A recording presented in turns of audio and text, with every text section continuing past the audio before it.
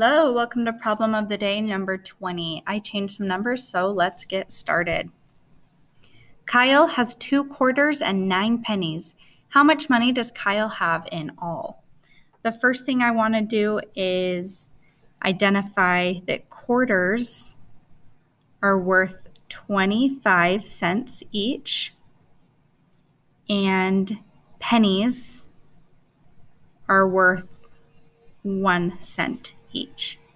So this is going to be two steps. Step one is I'm going to figure out how much money Kyle has in quarters first. So if one quarter is 25 cents, he has two.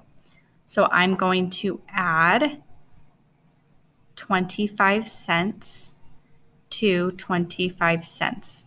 One quarter, two quarters and I'm going to do it just like addition. The reason that I use the zero and this little decimal is because that's what puts it into the right place value for money. So starting over here, I have 5 plus 5, and that's 10. So my 0 goes down here, and I regroup that 1.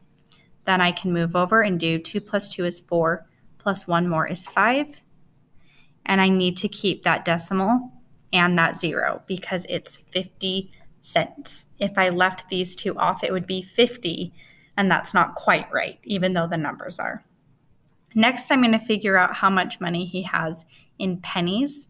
And I may not need to do an addition problem for this because if a penny is worth one cent and he has nine, he has nine of one each, which is just nine.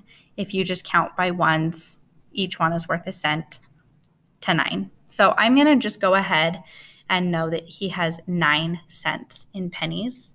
But he want we want to know how much he has in all, including this 50 cents from the two quarters. So we're going to add the nine on.